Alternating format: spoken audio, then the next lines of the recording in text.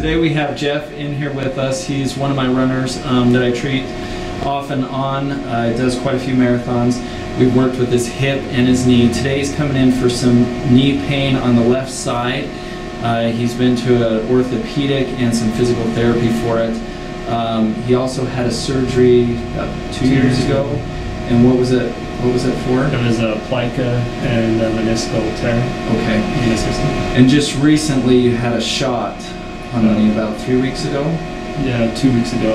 Two weeks cortisone shot. Okay, had a cortisone shot in doesn't hurt now. It does, mostly when I run. It hurts when I run. Um, and right after I finish running is extreme pain. Okay. Most extreme. So kind of the end of how many miles would you say? Um, so I did five miles like last night, and um, it's slightly painful during, but right after it's like hard to walk, almost Okay. like it's stiff. And can you point to where you're getting that Um, pain? Yeah, so it hurts mostly like on the inside of the patella. Um, a lot of it's down here and up in here. And also when you're doing like those lateral movements, we're just going through those, that that's painful too. So This will work. You're on. Okay, what we're going to be doing now is this gentleman's got a knee uh, disorder that is accelerated and exacerbated by uh, running. Uh, He complains of uh, stiffness and soreness on lateral movements in the, in the uh, left knee and also extreme pain uh, after at least a five-mile run. So what we're going to do now is I'm going to put in at least 12,000 joules into the knee in here, and then I'm going to have him move around and access it, comparing it how it was from just when he just sat down. Then I'm going to put in some more, and we're going to do it again, and there should be an improvement if I've hit the right area. That's what I'm assessing. Okay, all you will feel when I move this red light over this area is a whiff of warm air. And it's putting in the photons, it's going into wavelength depth into your tissue or reflected away by the bone in the knee, and it's starting those cells to heal and uh, get healthy. If you didn't run again, you wouldn't need it. I'm just teasing you. Here we go. We're going to start. You feel heat immediately?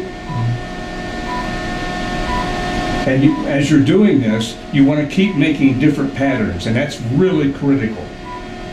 I see some places where I go in, they, this is way too powerful for something like that. You're reheating and heating that, that tissue so where it gets real hot very fast.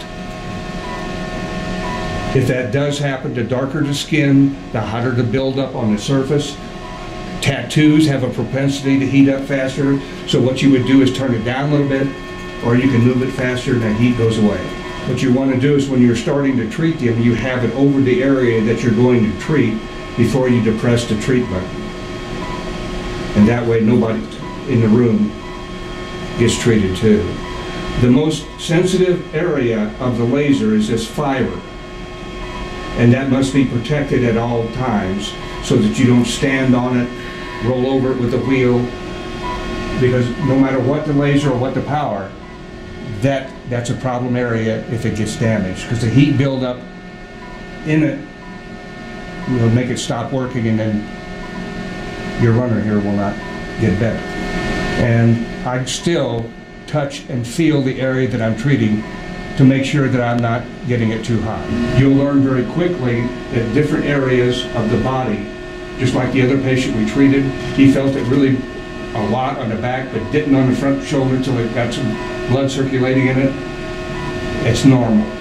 I've got a patient at my office in St. Louis, and I've been treating him now for about a year and a half.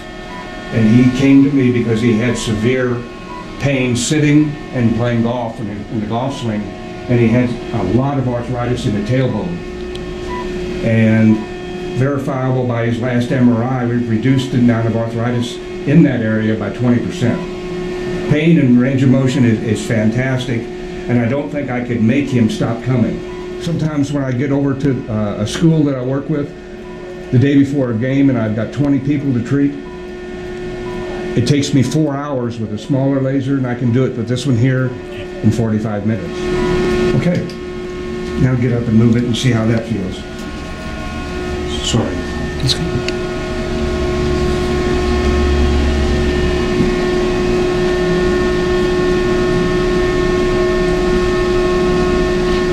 Yeah, I mean, it's definitely feeling better than it, than it was. I mean, the more I do it, I start feeling a little bit more. Okay. Um, but no, it's now, a patient like this half, like you that is getting it done should feel better in two to three hours.